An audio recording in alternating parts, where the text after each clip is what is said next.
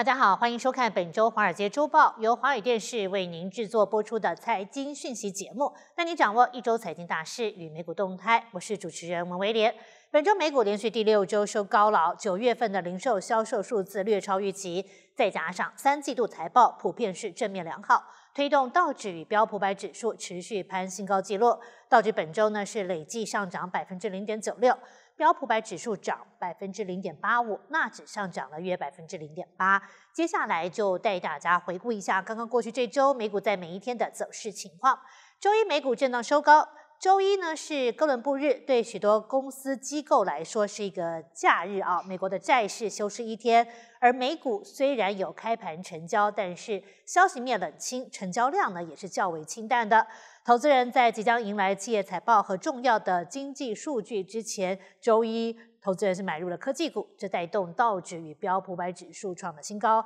道指收盘涨超过两百点，纳指上涨近一百六十点，而标普百指数上涨四十五点。来到周二，美股就转为下跌。由于荷兰的半导体设备巨头 ASML，他们公布第三季度的订单远逊预期，而且也下调了二零二五年的销售预测，这拖累了包括 NVIDIA、台积电等半导体类股。再加上联合健康的财报也不理想啊，他们预测二零二五年的财测数字是没有达到预期的，这都冲击到市场的表现，导致收盘下跌超过三百二十点，纳指下挫超过一个百分点，标普百指数也跌了约百分之零点八。周三美股试图从前一个交易日阿斯麦引发的抛售潮中出现反弹，投资人呢是继续在关注是企业财报的数字。摩根斯坦利公布了财报，幸好这个财报相当不错，股价大涨了百分之六点五啊，对于股市来讲做出了提振。而对于经济敏感的股票就表现出色，像小型股为主的罗素两千就上涨了百分之一点六四，创了近三年来的最佳单日表现。道指收盘上涨超过三百三十点，登上历史新高，纳指涨百分之零点二八，标普百指数涨了百分之零点四七。到了周四，美股持续收涨。因为台积电公布了相当强劲的财报，而且财测呢也很乐观，这停振了半导体类股普遍上涨。台积电 ADR 开盘就涨了超过八个百分点，芯片股全面走阳。与此同时，周四公布的九月份美国零售销售呢增幅高于预期，这也凸显了消费者表现强劲，这支撑美国经济软着陆的预测。而美国九月份的零售销售额月增百分之零点四，这是高于市场预期的百分之零点三。收盘时，道指上涨超过一百六十点，标普百指数呢是持平，纳指则是小涨六点。周五美股持续收高，Netflix 在周五盘前公布财报了，相当不错啊，强劲的财报这提振了市场的情绪，而市场呢持续在关注的还有美联储官员的谈话以及。美国大选前景啊，逐渐的临近，道指与标普百指数在周五呢是再创历史新高，收盘时三大股指收涨，道指收盘涨三十六点，最后收报在四万三千两百七十五点，纳指涨一百一十五点，收报在一万八千四百八十九点，标普百指数涨二十三点，收报在五千八百六十四点。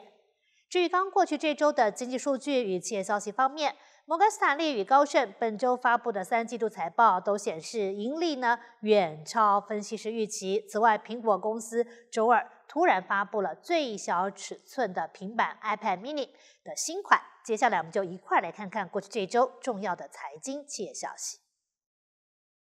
据摩根士丹利报告，公司三季度每股收益达到一点八八美元，高于分析师预期的一点五九美元。同时，公司营收也表现出色。达到一百五十四亿美元，不仅超出了一百四十三点二亿美元的预期，而且比去年同期的一百三十三亿美元增长百分之十五点八。在各业务板块中，机构证券部门表现尤为突出，净收入同比增长百分之二十点二，达六十八亿美元。这一增长主要得益于股票和固定收益交易的强劲表现，以及投资银行业务的持续增长。其中，投资银行收入较去年同期激增百分之五十六。在前执行长戈尔曼 James Gorman 领导下，摩根士丹利将业务扩展到财富管理领域，以实现业务多元化。摩根士丹利重点关注的财富管理上季度收入为七十二点七亿美元，比去年同期的六十四亿美元大幅增长。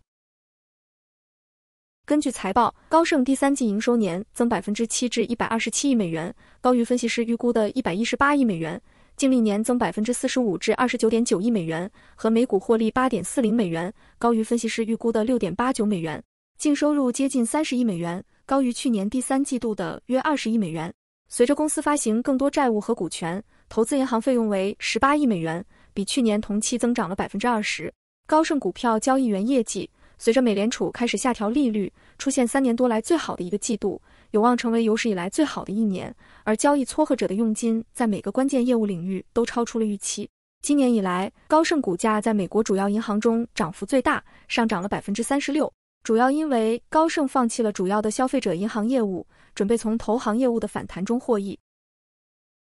连锁药局 Walgreens 公布上季度调整后每股获利三十九美分，高于预期的三十六美分，营收比去年同期成长百分之六，达三百七十五点五亿美元，也高于预期的三百五十七点六亿美元。沃尔格林正面临药房报销压力、消费者支出疲软以及进军初级保健等相关挑战。该公司表示，超额完成了二零二四财年削减十亿美元成本的目标，其中包括关闭业绩不佳的商店。裁员以及利用人工智慧提高供应链效率等。Walgreens 周二还宣布将关闭一千二百家分店，未来一年将先关闭五百家分店。到了二零二七年时，目前开张的所有华格林分店当中，平均每七间分店将有一家结束营业。Walgreens 受到财务压力，今年六月间推出重整计划，当时便宣布业绩欠佳的三百家分店即将关闭。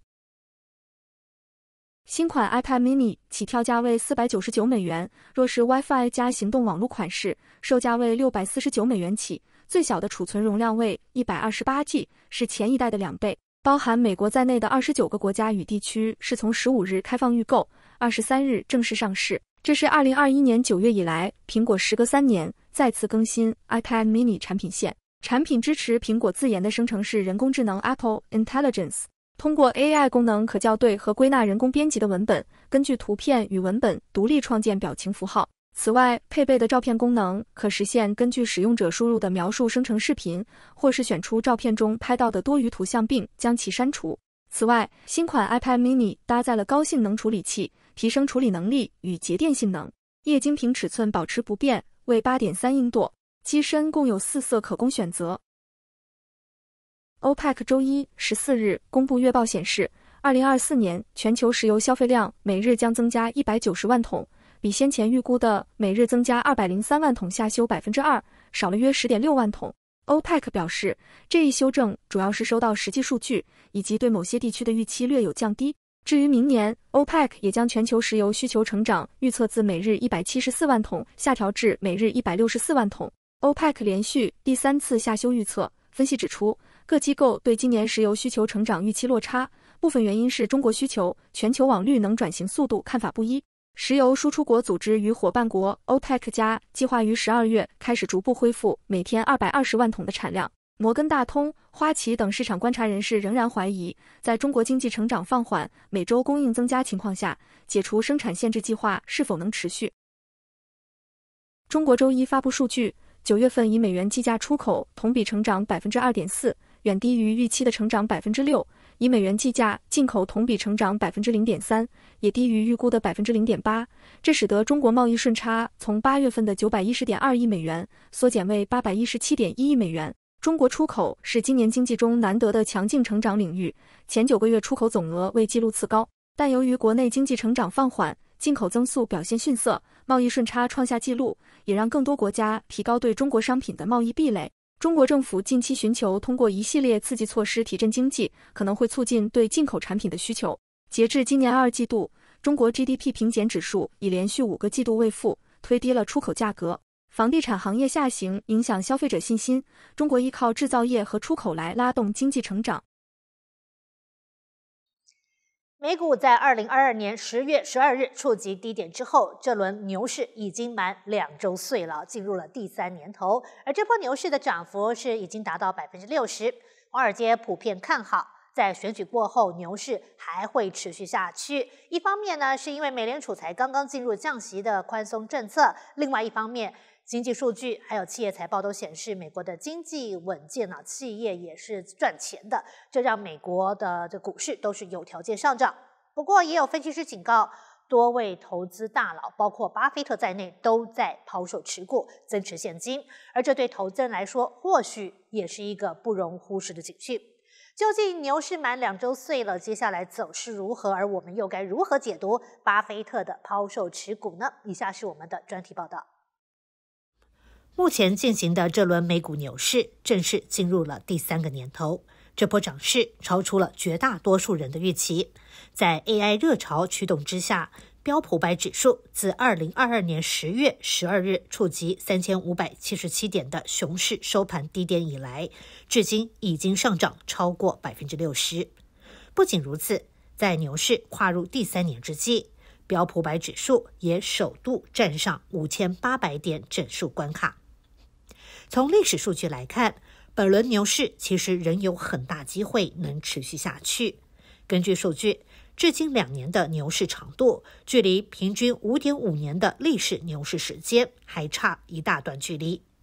研究数据也显示，本轮牛市至今为止的总回报率为百分之六十，如果与历史平均百分之一百八十的涨幅相比，还只是小巫见大巫。华尔街分析师也仍普遍看好美股后续走势，并争相调高标普五百指数的目标价格。奥本海默分析师认为，二零二五年上半年标普五百指数有望达到六千点。如果当前的牛市遵循历史平均水平，到明年底标普五百指数将可以升到七千点左右。此外，高盛也将其对标普百指数的年底目标价调高至六千点，并且将未来十二个月的目标价格定在六千三百点。然而，在股市涨声一片、前景看好之际，多位投资界大佬已经开始卖股。有股神之称的巴菲特近期一直在抛售股票。巴菲特在上个季度将其持有的苹果股票减码一半。价值约七百三十亿美元。今年上半年，巴菲特的股票总卖出额为九百七十亿。同时，他也连续数个月大举抛售美国银行，并且将波克夏对美国银行的持股比例降到了百分之十以下，累计套现超过一百亿美元。截至八月中旬，巴菲特现金部位达到创纪录的一千八百九十亿美元，而且还在持续的减持。分析师表示，虽然不能把巴菲特的行为解读成崩盘即将到来，但美股市场此时也的确涨高，有较高风险会进行下调。Well, the the market got everything it wanted, right? It got an accommodative Fed. Uh, it got you know low inflation, low unemployment. So, but at the same time, we are here at a uh, two-year anniversary of the bull market. So, pullback is definitely on the cards. And we would be looking at that pullback in an opportunistic manner. 除了巴菲特，华尔街一些知名的价值投资人也选择了抛售。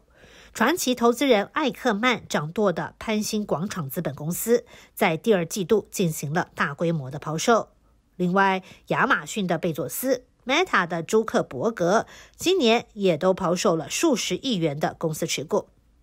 分析表明，这些举措显示美股或许还有一波涨势，但已经接近历史高位。因此，这些投资大亨决定保持现金来应对潜在的市场风险。这些亿万富翁的行为或许对投资人来说也是个提醒：随着市场的不确定性增加，投资人可能需要提前着线，谨慎对待未来的投资决策，来应对可能出现的市场调整。现在先休息一会儿，广告之后，我们将电话专访盛安集团首席执行官刘秋莹，请他来为我们分析一下美股市场的最新表现以及新的操作策略。我们稍后回来。